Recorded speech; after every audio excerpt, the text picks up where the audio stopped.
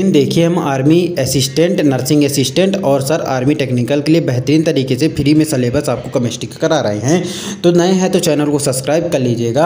आज का हमारा जो सेशन है, वो पेरियोडिक टेबल के ऊपर है। मेरे भाई पेरियोडिक टेबल से बेहतरीन क्वेश्चन है ना? और अब इसके पहले के वीडियो आप मेरे भाई प्लीज़ जाके चैनल में देख लीजिए, है ना? चैनल पर लिंक डिस्क्रिप्शन में है तो वहाँ से जाके आप सभी वीडियोज़ देख लीजिए। दो चैप्टर हम करवा चुके हैं और एक महीने के अंदर गारंटी लेते हुए एक महीना आपने क्लास ले लिया तो मेरे भाई, दस नंबर के आपके क्वेश्चन आने वाले हैं टेक्निकल आरबी में। तो मैं गारंटी लेता हूँ, मेरे भाई, आठ नंबर आपके कहीं जाने वाले नहीं हैं। टेंशन मुक्त रहना, लेकिन आपको जितना पढ़ाया जा रहा है, आपको पढ़ना पड़ेगा पढ़ना पड़ेगा भाई। तो पेरियोडिक टेबल आवर्त सारणी हम पढ़ेंगे और चीज़ों को समझेंगे। आवर्त सारणी में बन तो बच्चों, आवर्त सारणी में क्या होता है? मैं थोड़ी देर बाद आपको आवर्त सारणी दिखाने वाला हूँ। आवर्त सारणी में होता क्या है?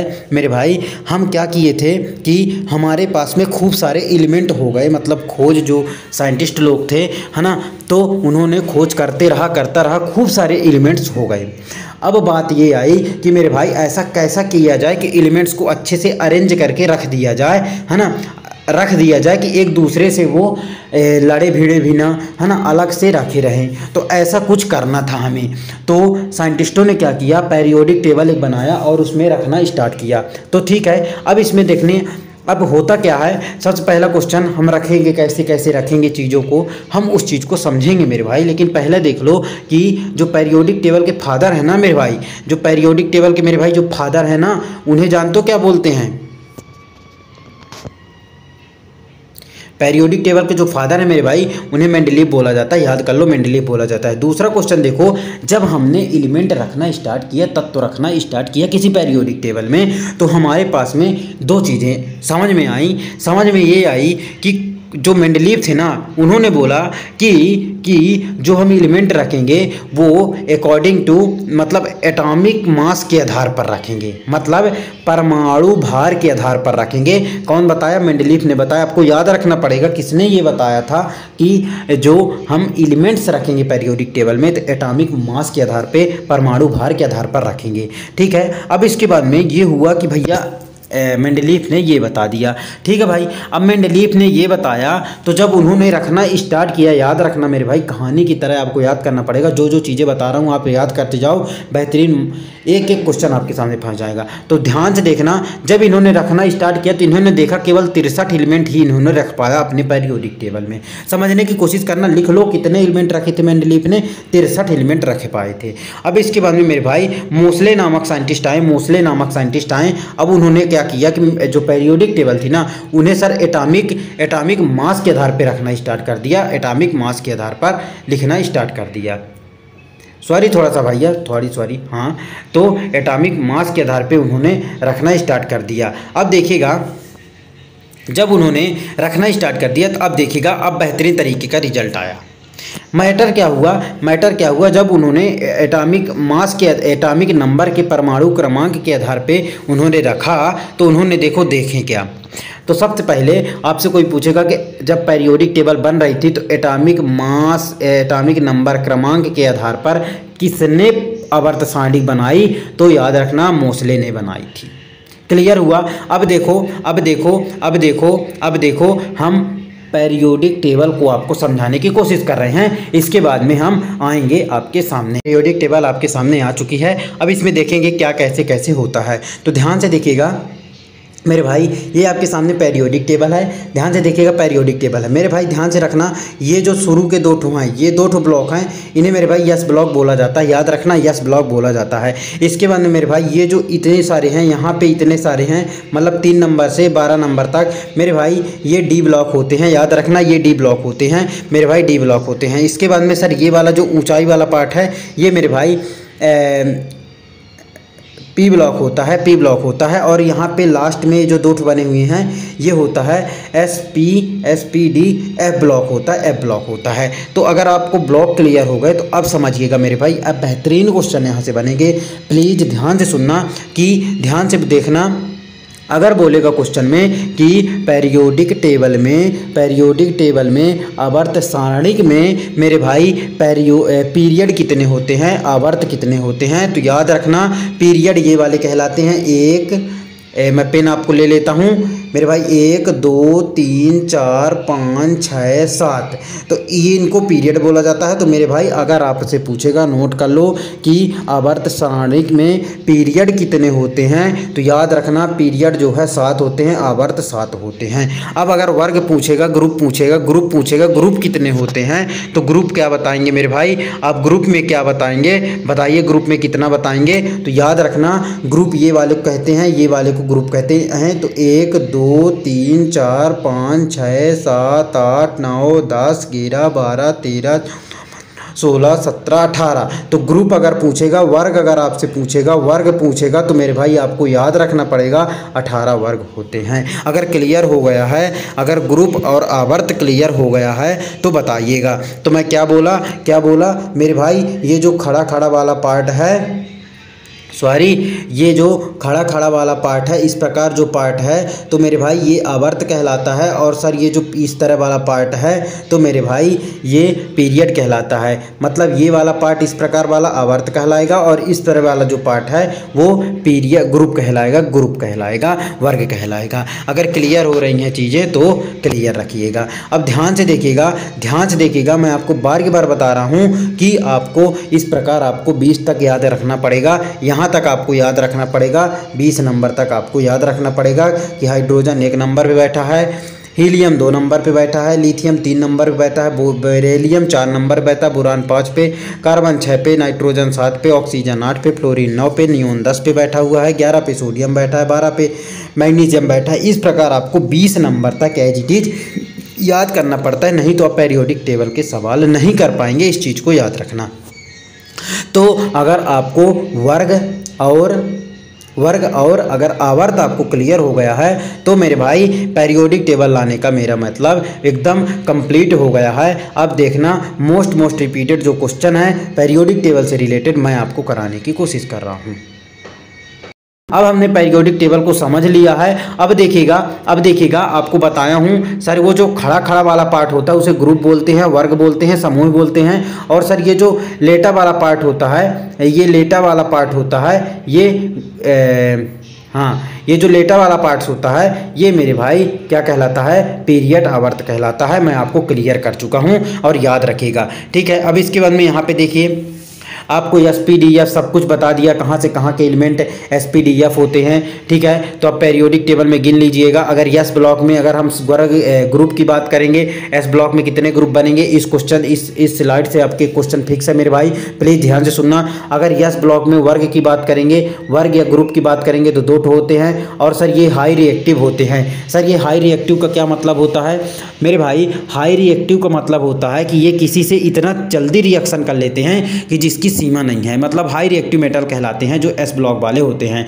मेरे भाई, अब मैं बताऊँ आपसे एस ब्लॉक में एक आता है सोडियम अगर मेरे भाई सोडियम इतना रिएक्टिव होता है, मान लो, अगर पानी में गलती से थोड़ा सा भी पानी उसमें छू गया, तुरंत आग लगा देगा। तुरंत आग लगा देगा। तो याद रखना S block high reactive metal होते हैं। अगर पी ब्लॉक की बात करते हैं, उसमें मेरे भाई ग्रुप या वर्ग की बात करेंगे तो मेरे भाई छः वर्ग होते हैं। और इसमें सर धातु, अधातु मेटालॉइड सब कुछ होता है। इस चीज़ को याद रखना। इसके बाद में डी ब्लॉक की बात करते हैं। डी ब्लॉक भी मैं समझाया था। ग्रुप में सर सात होते हैं, वर्ग सात होते हैं और सर अगर इन्हें ट्रांजिशन एलिमेंट संक्रमक तत्व भी बोलते हैं, क्यों बोलते हैं, कैसे बोलते हैं, हम डी ब्लॉक वाले एलिमेंट में हम ज़रूर देखेंगे मेरे भाई। अभी बस याद कर लो, इसको इस प्रकार बोलते हैं। अगर सर एफ़ ब्लॉक की बात करते हैं तो एफ़ ब्लॉक में जो वर्ग हैं, ग्रुप हैं, वो चौदह या पंद्रह होते हैं, है ना? आपको ऑप्शन में चौदह भी दिख सकता है, पंद्रह भी दिख सकता है, कोई दिक्कत नहीं है। और सर इन्हें जो है, इरन ट्रांजिशन एलिमेंट बोलते हैं, या कि अंतर संक्रमक तत्व भी बोलते हैं। अब क्लियर हो गया तो अब देखिए पेरियोडिक टेबल से रिलेटेड हम आपको सवाल कराने वाले हैं। एक एक लाइन जितने ये क्वेश्चन दिख रहे हैं आपके सामने, एक, दो, तीन, चार, पाँच, नीचे भी आने वाले हैं। तो मेरे भाई, सभी सभी सभी मोस्ट इंपॉर्टेंट क्वेश्चन है, बेहतरीन तरीके के इंपॉर्टेंट क्वेश्चन है। अब पेरियोडिक टेबल से रिलेटेड मेरे हिसाब से जैसे ही आप एग्ज़ाम में बैठोगे पेरियोडिक टेबल का क्वेश्चन आएगा तो आप देखते ही क्वेश्चन को फोड़ दोगे। कहीं ऐसा ना हो कि इसी स्लाइड से क्वेश्चन बन जाए। इसी स्लाइड से क्वेश्चन उठ के आ जाए आपके एग्ज़ाम में और आप उसको फोड़ दें। तो ध्यान से देखना, ध्यान से देखना, ध्यान से समझना। तो पहला क्वेश्चन बनेगा ब्लॉक इन पेरियोडिक टेबल आवर्त सारणी में कितने ब्लॉक होते हैं? तो मैं आपको बताया था चार ब्लॉक होते हैं, चार ब्लॉक होते हैं, कौन कौन से? एस क्लियर हुआ? क्लियर हुआ पहला क्वेश्चन दूसरा क्वेश्चन देख लो। दूसरा क्वेश्चन मैं पेन चेंज करूँगा तो पेन चेंज करने में ही तो मज़ा आता है। ठीक है, अब दूसरा क्वेश्चन देखो। आवर्त सारणिक जो होती है ग्रुप आवर्त सारणिक में, सर, जो ग्रुप होते हैं, जो पीरियड होते हैं, समूह और आवर्त जो होता है है ना? तो मॉडर्न पेरियोडिक टेबल की बात कर रहा है। मॉडर्न पेरियोडिक टेबल सर जो आधुनिक आवर्त सारणिक है, उसमें मेरे भाई कितने ग्रुप होते हैं? तो हमने अभी अभी देख के आया हूँ डायग्राम में, अठारह ग्रुप होते हैं, समूह अठारह होते हैं, और सर अगर पीरियड की बात करते हैं तो सात होते हैं क्लियर हुआ तो आगे बढ़ते हैं। इसके बाद में मेरे भाई, अगर आपसे कोई पूछा कि हाइड्रोजन का खोज किसने किया था? मतलब हाइड्रोजन के फादर कौन है, कुछ भी पूछ लेगा। अगर हाइड्रोजन के खोज के नाम पूछ लेगा, या सर हाइड्रोजन के फादर कौन है तो मेरे भाई आपको कैमेंडिस बताना पड़ेगा केमेंडिस बताना पड़ेगा। अगर आपको अगर आपको एतराज़ ना हो तो एक फिजिक्स का सवाल बता दूँ, मेरे भाई यहीं से कैमेंडिस शब्द से बता दूँ कि मेरे भाई अगर आपसे कोई पूछेगा कि कि जो वो कैपिटल जी आता है ना मेरे भाई ये जो कैपिटल जी आता है ना आप पढ़े होंगे ग्रेविटेशन वाले पार्ट में कैपिटल जी ग्रेविटेशनल कांस्टेंट इसकी खोज किसने की थी? तो कैमेंडिस ने ही की थी। तो याद रखना फिजिक्स का भी आपका क्वेश्चन क्लियर हो गया और हाइड्रोजन की खोज भी कैमेंडिस की थी। और सर ए, ग्रेविटेशनल कांस्टेंट की भी कमेंडिस ने किया था। इसके बाद में मेरे भाई डिस्कवरी ऑफ़ नाइट्रोजन और ऑक्सीजन देख लेना, है ना? नाइट्रोजन ऑक्सीजन की डिस्कवरी किसने किया था? तो मेरे भाई आपके सामने नाम लिखा हुआ है तो आप देख सकते हैं। ठीक है? कोई दिक्कत नहीं है है ना? इसके बाद में अगर ध्यान कर ध्यान से देखते हैं तो डिस्कवरी ऑफ़ द रेडियम एक कोई पेरियोडिक टेबल में एलिमेंट होता है रेडियम इसको जो खोज थी मेरे भाई क्यूरी किए थे, और सर ये रेडियो एक्टिविटी होता है। सर ये रेडियो एक्टिविटी क्या होते हैं? सर वही रेडियो एक्टिविटी ऐसे एलिमेंट्स होते हैं जो बहुत जल्दी रिएक्शन कर लेते हैं, उन्हीं को रेडियो एक्टिविटी बोलते हैं। इसके बाद में याद रखना, एक चीज़ याद रखना डिस्कवरी ऑफ़ नोबल गैस अच्छा पेरियोडिक टेबल में आपको बताना है नोबल गैस कहाँ पर होती है? नोबल गैस कहाँ पर होती है? तो याद रखना, मेरे भाई, जब पेरियोडिक टेबल में आपको पढ़ा रहा था तो जो अठारहवा नंबर का ग्रुप था, अठारहवा नंबर का ग्रुप था, उसी को नोबल गैस बोलते हैं, है ना? अक्रिय गैस बोलते हैं, जो किसी से रिएक्शन नहीं करती है। एक ऐसी गैस ऐसी गैस क्वेश्चन बनेगा, ऐसी गैस बताओ, जो किसी से रिएक्शन नहीं करती है। तो आप क्या बताओगे? क्या बताओगे बिना देखे? नोबल गैस लगा देना नोबल गैस अब सर नोबल गैस होती कौन कौन सी है? अगर नोबल गैस की डिस्कवरी की बात करेंगे तो रेले ने किया था, है ना? रेले और रेमसे ने किया था। याद रखना रेले और रेमसे ने किया था। दो ऑप्शन में कुछ भी आपको दिख जाएगा। अगर दोनों दिखा, अगर रेले में दिखा रेमसे भी दिखा तो याद रखना रेमसे को आपको क्लिक करना है। रेले को फिर नहीं माना जाता, अगर ऑप्शन में दोनों है। याद रखना इस चीज़ को। अब इसके बाद में नोबल गैस की बात करते हैं तो मैं अभी अभी बता के हूँ। अठारहवें नंबर का जो ग्रुप होता है, उसी को नोबल गैस बोलते हैं। नोबल गैस में कौन कौन सी गैस होती है तो याद रखना। सर हीलियम होती है नियोन होती है ऑर्गन होती है क्रिप्टॉन होती है जीनोन होती है और रेडॉन होती है। याद रख लोगे, याद रख लोगे ग्रुप नंबर आठ जाके देख लेना, वहीं पे आपका सब कुछ लिखा हुआ है। इसके अंदर पेरियोडिक टेबल में और कुछ चीज़ें देख लेते हैं। सर, सबसे हल्का एलिमेंट किसका होता है? हाइड्रोजन को बोला जाता है। सबसे इलेक्ट्रोकंडक्टिविटी एलिमेंट है। मतलब सर, सबसे ज़्यादा किसमें विद्युत चालक मतलब सब ज़्यादा किसमें करंट फ्लो हो जाता है? तो मेरे भाई, आपको पता है सिल्वर में हो जाता है। सिल्वर आपका आंसर आ जाएगा। मेरे भाई, एक चीज़ याद रखना, एक चीज़ याद रखना कि कि जितने भी पेरियोडिक टेबल से क्वेश्चन बनेंगे तो एक लाइनर क्वेश्चन बनेंगे, इसी प्रकार के क्वेश्चन बनेंगे। अच्छा आप ये बताओ, अगर मैं आपसे डायरेक्ट पूछता कि सबसे हल्का एलिमेंट कौन सा होता है पेरियोडिक टेबल में तो क्या आप बता सकते थे? नहीं बता सकते थे, लेकिन आपने यहाँ पे पढ़ लिया कि सबसे हल्का एलिमेंट हाइड्रोजन होता है। तो अगर आपसे बनता है तो आप क्लिक करेंगे अगर नहीं बनता तो आप क्लिक नहीं करेंगे। तो एक चीज़ याद रखना कि पेरियोडिक टेबल में कंसेप्ट से ज़्यादा कॉन्सेप्ट से ज़्यादा मेरे भाई इंपॉर्टेंट है। है, एकदम स्टैटिक क्वेश्चन सर, एकदम फिक्स क्वेश्चन होते हैं फिक्स क्वेश्चन होते हैं, उन क्वेश्चन को अंदर तक देखना पड़ता है, याद करना पड़ता है, उसमें कोई लॉजिक नहीं लगता, इस चीज़ को याद रखना, इस चीज़ को याद रखना, ठीक है?